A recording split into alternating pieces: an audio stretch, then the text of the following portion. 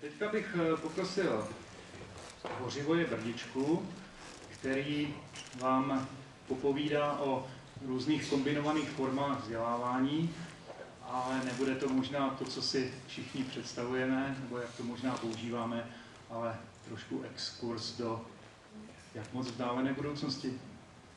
Já myslím, že je docela dobrý se vztahovat k tomu roku 2020. Teď se k němu všichni vztahujeme, že jo?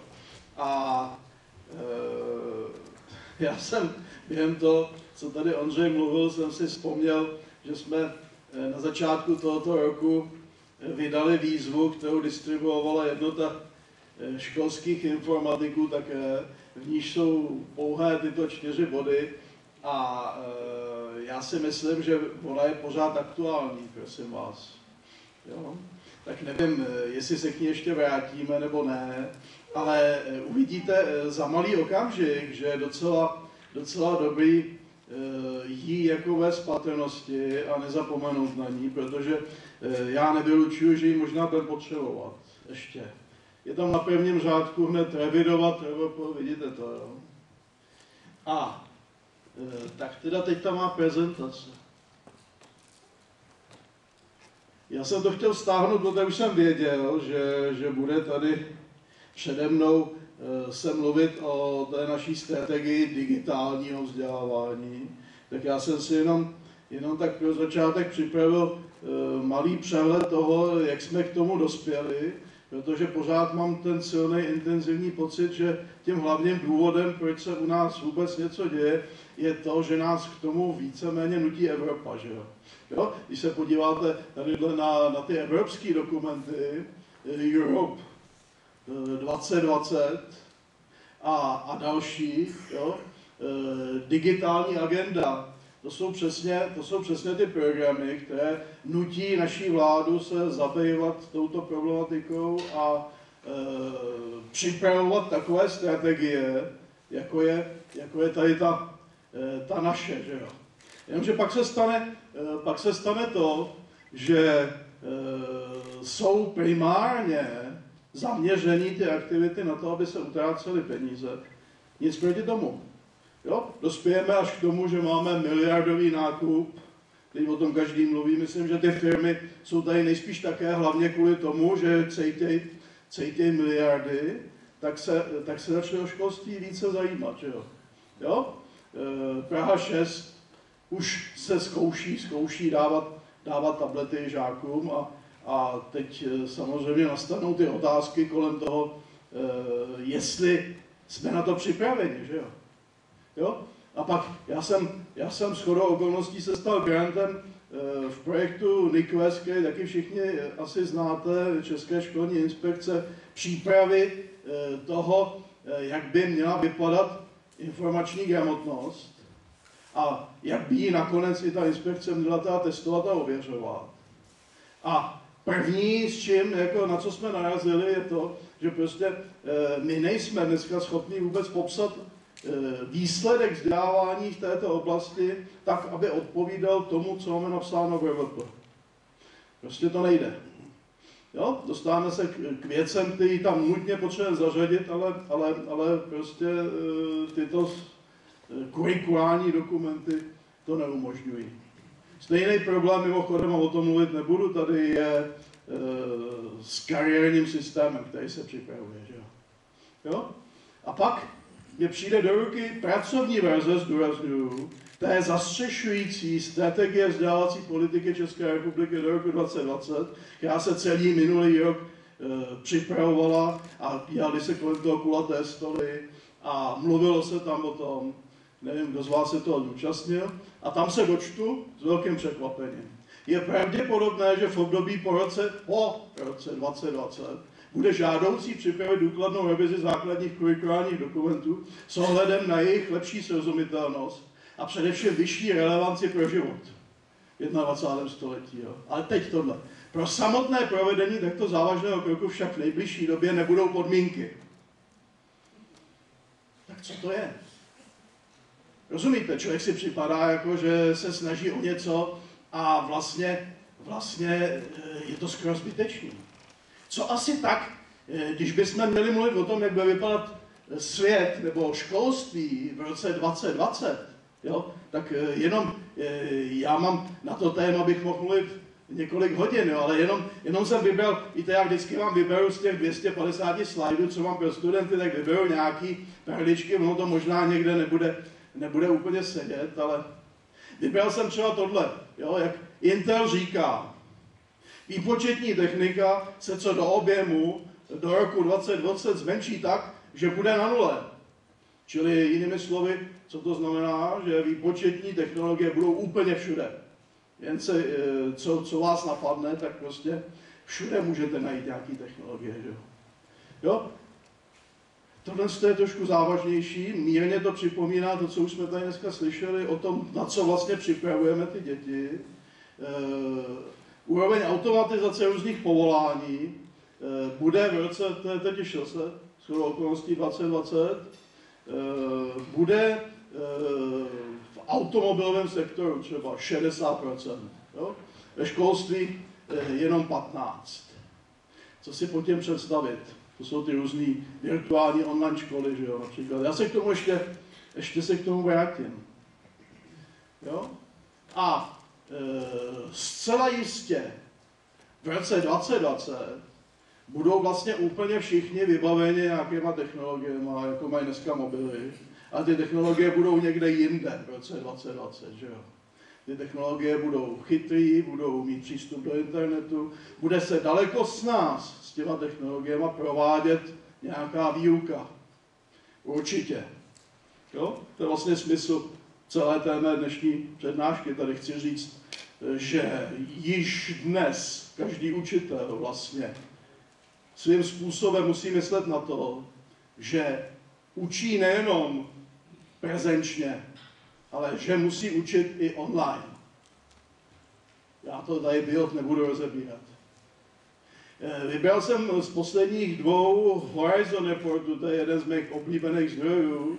Eh, už jsem, myslím, tady taky o tom jednou Eh, dost déle mluvil, tak jsem vybral trendy, které oni vždycky zdůrazňují ty nej, nejdůležitější trendy, které nastanou v budoucnosti.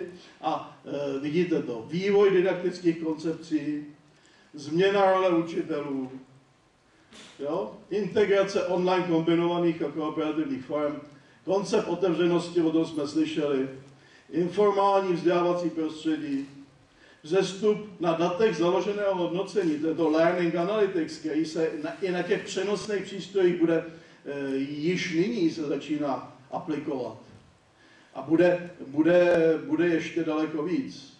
Všechny ty aktivity výukové, které se budou dělat třeba s těma tabletama, které dneska tady eh, vládnou tomu, co, eh, co, co, co nás zajímá, tak na, na nich budou takové aplikace, které budou automaticky ukládat všechno, co na nich ti žáci dělají. Výukového. Možná i něco dalšího, kdo ví. Jo? Takže třeba takovýto testování, eh, jak se říká, to rozhodný, eh, že, že, se bude, že se zkoumá dneska to, co ten žák umí v ten okamžik, je velmi zavádějící. Že jo? Vlastně to mírně připomíná to, co se snažíme prosazovat už delší dobu, a sice zkoumat výsledky pomocí portfolia. Jo? Ale tady to, tady to jde ještě o dost dál.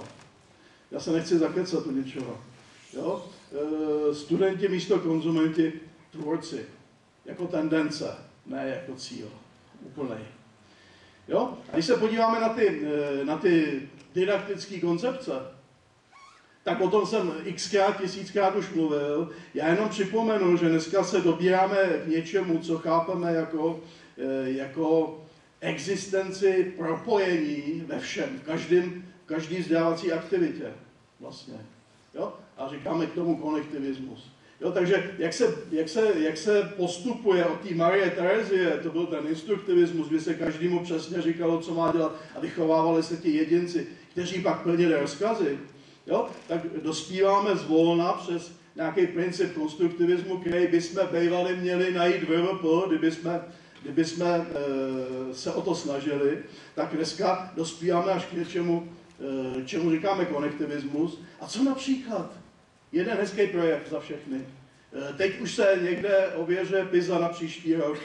V té PISA na příští rok je eh, test ověřování schopnosti žáků spolupracovat online. Víte o tom?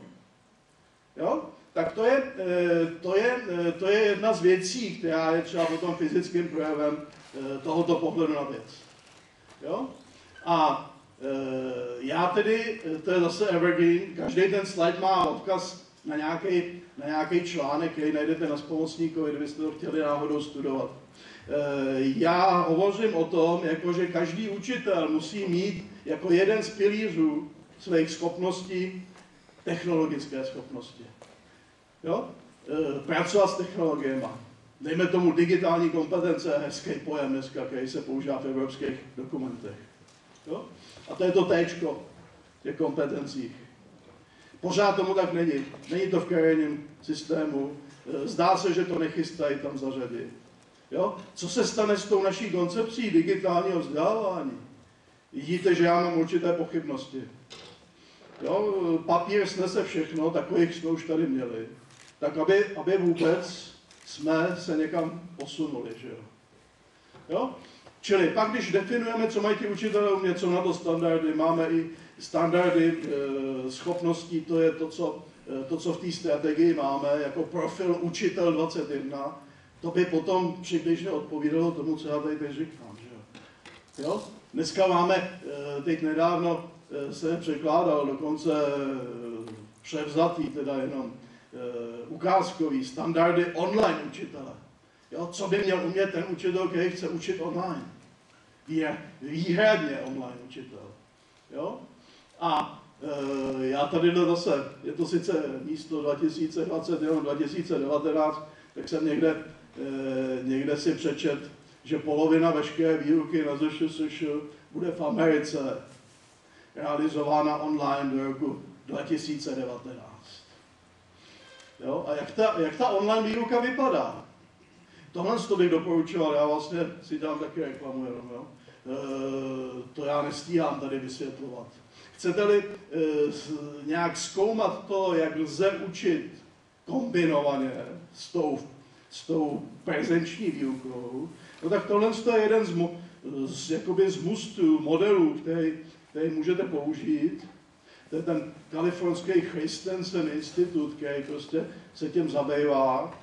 A oni mají, oni mají prostě e, takový teoretický materiál, z kterého se dozvíte, jak vypadají možnosti toho kombinování. To znamená, jak integrovat e, tu prezenční s tou online výukou. Jo, a tady vidíte několik takových jako názvů, který možná e, jeden z nich bych očekával, že už teda vám něco řekne. Tamhle třetí bod u té rotace je převrácená výuka. To jsem tady, o tom jsem tady mluvil. Mezi tím předpokládám, že už se tento pojem u nás trošku víc rozšířil. Jak jsme na tom zkoušel někdo ze zde přítomných e, převrácenou třídu?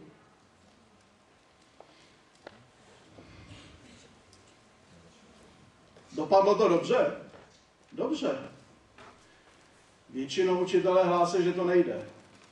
E, na to tady teď nemáme čas. Jo? A těch možností je mnohem víc, jak to zorganizovat. Všechny jsou samozřejmě komplikované. Musí se plánovat, musí se, musí se prostě na to připravovat ti učitelé, ty školy. Jo? Není to vůbec jednoduché. Tady mám jednu, eh, kterou jsem už vám možná taky ukazoval tady. When you hear the term online classes, já to ani pouštět nebudu, vidíte.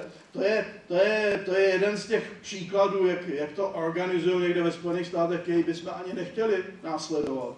Jo? Oni mají třeba obrovskou halu a tam ti, eh, tam ti žáci chodí a učí se a jsou řízeni nějakým počítačovým systémem.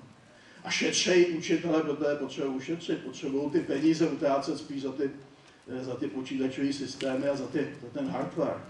Jo, a to, to je cesta, která se nám určitě nebude líbit, ale velmi, velmi velké nebezpečí je, že e, se bude i u nás prosazovat. Obzvlášť, když se učitelé nebudou pokoušet se vzdělávat v té oblasti využití technologií. Pak se bojím, že to bude o to snažší. Jo, tady jsem mluvil minule o, eh, o té firmě Amplify, která už dodává tablety a tam už je ten systém eh, řízení a ukládání velkých dat eh, toho, co, co žáci s tím dělají, ten už je tam zabudovaný přímo. Takže to nás, to nás nepochybně, nepochybně čeká. Tohle ono to má velké výhody, když se to používá rozumně. Jo, to je třeba reklamní video, krátký. Here's a teacher with just a few of the students in a typical classroom. Brandon and Maria and Karen and Jimmy. Each is unique. They're at different stages and need different ways to get where they need to go. Jo, čili každý je někde jinde a individualizace takové výuky je myslitelná, pokud se používají technologie. S těma technologiemi každý může pracovat trošku jinak. Já jsem minulý den to bylo, jestli to někdo čet, zrovna o téhle firmě a o Newtonu jsem psal, eh, jaké s tím mají ve Spojených státech problémy. Zrovna, zrovna tahle firma InBloom má v New Yorku velké potíže, protože rodiče se bouřejí proti tomu, aby data o jejich žácích byly ukládány na serveru té firmy.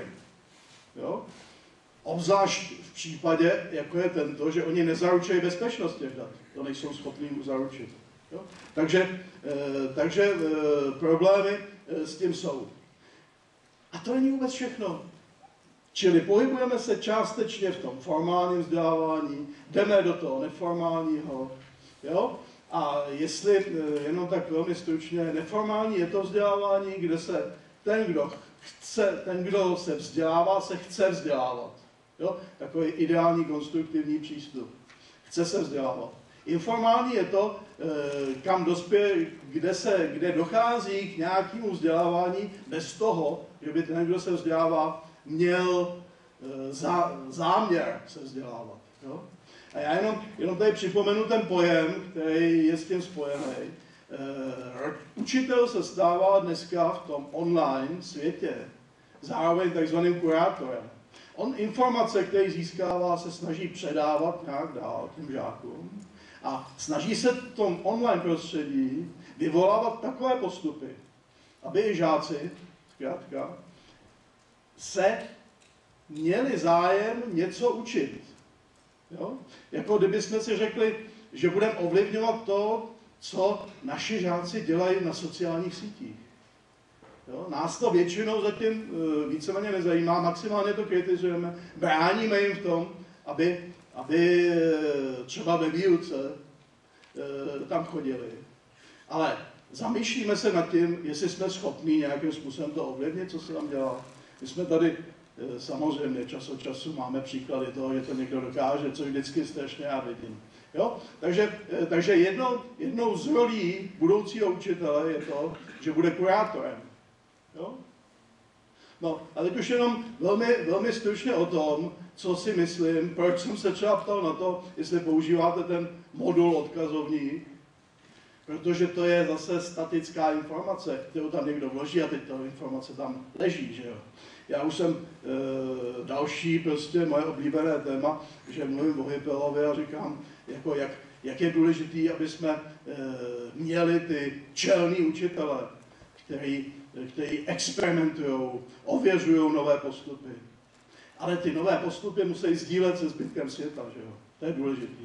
Jo? E, to je třeba, třeba takový jako pojem, jakoby akční výzkum, že prostě výzkum, to není výzkum jako pravý, ale skoro. Jo? Ten, e, ten učitel prostě akčně něco zkouší a ověřuje, jestli, jestli se mu to daří a ty informace, když se mu to daří, předává dál. To je podstatou.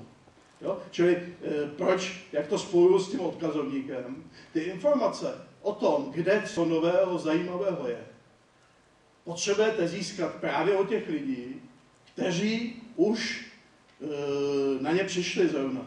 Jo? Čili kdybychom měli pracovat v pojmu sociálních sítí, tak jsou to ty, kteří prostě e, jsou na Twitteru a posílají ty informace o tom, co je, co je nejnovějšího, zajímavého, jo? Nebo, nebo jsou Eh, na Google u nás nejvíc učitele, jo? Nebo jsou to Pepoušové, kde jsem to jak jednou zmiňoval, je tady dneska nějaký Pepouš. Dneska není ani jeden Pepouš. Ty si ty informace předávají okamžitě. Jo? A pak se dozvíte z evropského výzkumu, že jsme na, na úplném konci toho, eh, jak si učitelé eh, účastní v online komunitách. No, což mi myslím, že odpovídá zrovna poměrně do skutečnosti. Jo? No tak to je samozřejmě špatně. Já jsem vám chtěl vysvětlit ještě jeden důsledek tohoto. Odkážu vás na příslušný článek, který popisuje výzkum eh, teď v únoru publikovaný vědců z MITu o tom, jak je velmi důležité se spojovat, protože to zároveň má velmi významný vliv, protože to potlačuje to, čemu se říká eh, topokracie. Jo? A zvyšuje to meritokracii. Topokracie je to, když někdo eh, svého postavení využívá tak, že prostě informace, které získá, nebo to může být i jiný zisk, prostě e, používá jakoby k osobnímu prospěchu. Přesně v tom okamžiku, kdy budeme úplně všichni propojení, tato topokracie zkrátka se snižuje, já neříkám, že ji likvidujeme. Jo? Čili e, tohle to myslím trošku zapadlo, přijde mi to velmi důležité. Určitě, určitě vám doporučuji se na to mrknout, protože tohle je další důvod k tomu, aby jsme se spojovali. Jo? Čili, jak říká tady ten uh, Dean, který se jmenuje navíc Šersky, je to Kanaďan. You need to be sharing online and sharing regularly. You need to be helping others to do likewise. Not as a cool thing you can do, but because you owe it to others to teach students beyond your classroom and your district. Já se ji pouštět nebudu, samozřejmě. Nám říká, že to sdílení je morální povinností učitele a že to je že to je, že to je jako jedna z těch nejdůležitějších věcí, kterou máme dělat. Eh, já bych dokonce řekl, že je to až tak, že když se naučíme ty informace sdílet, pak téměř nic, jak říkal tady kolega, eh, dalšího už ani na počátku nemusíme umět. Musíme ovšem chtít se vzdělávat, chtít poznávat, chtít zkoušet ty nové věci, té výuce. Na to, to, na co vás připravují pedagogické fakulty, z velké části potom ani už nebudete potřebovat. Potřebujete jít s těma, kteří jsou nejdál a ty musíte sledovat co nej, nejblíže, nej, nej, nejtěsněji, abyste, abyste se udržovali v obraze. To je totiž jediný způsob, jak v té rychle se vyvíjející době, která se neustále mění všechno, jediný způsob, jak se udržovat někde neříkám, že na špici, ale alespoň nepropadnout úplně na dno, že jo? Což je trošku smutné. Čili to, co já jsem chtěl dneska říct, a to prosím je vzkaz, který věříte každému, koho potkáte, no. Jo, již nikdy nebudete pracovat offline. A to se netýká jenom vás, ale všech vašich kolegů. Bohužel je třeba, aby, aby jim to došlo. Děkuji.